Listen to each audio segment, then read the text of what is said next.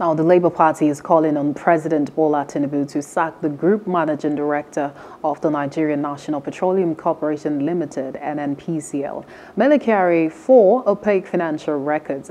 Addressing a press conference in Abeokuta, a factional publicity secretary of the party, Abayomi Arabambi, said the NNPCL, despite being a property of Nigerians, failed to ensure that Nigerians are in the know of the operations of crude oil. He, however, urged the president to appoint capable handlers to pilot the affairs of the corporation.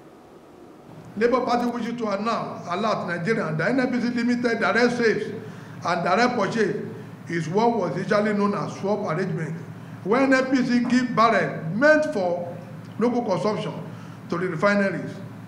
While the refinery give NNPC Limited the quantity of fuel refined that will cover the cost of crude oil, given to them.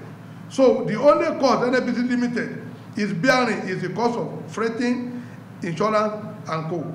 The question now is, who is stealing our diesel? Because they only used to bring PMS. Who is stealing our diesel? Who is stealing our heating oil, kerosene and jet fuel, hydrocarbon gas liquid, residual fuel, and other products? NNPC, which stood the interest of common man, is still tied to the old order of doing things, thereby the management team that has leaned to the path in this direction and meting out this level of pay to Nigerians should be sacked, arrested, and prosecuted.